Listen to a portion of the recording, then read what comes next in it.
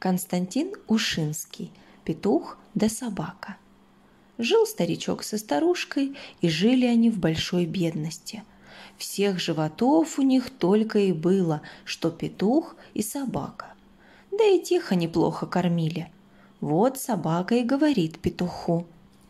Давай, прыт, Петька, уйдем в лес.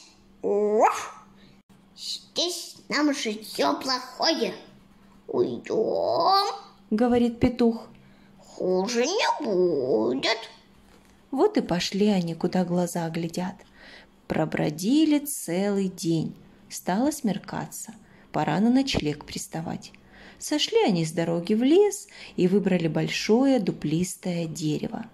Петух взлетел на сук, а собака залезла в дупло и заснули. Утром только что заря стала заниматься, петух и закричал – Услыхала петуха лиса, захотелось ей петушьим мясом полакомиться. Вот она подошла к дереву и стала петуха расхваливать. Вот петух так петух, такой птицы я никогда не видывала. И перышки-то какие красивые, и гребень-то какой красный, и голос-то какой звонкий. Слети ко мне, красавчик. А за каким делом? спрашивает петух. Пойдем ко мне в гости.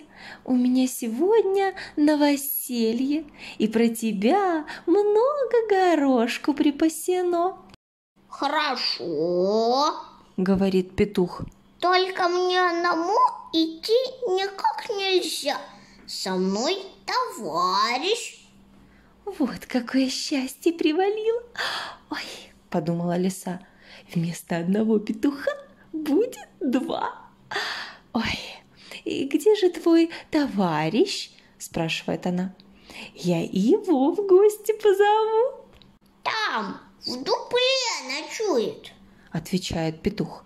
Лиса кинулась в дупло, а собака ее за морду цап поймала и разорвала лису.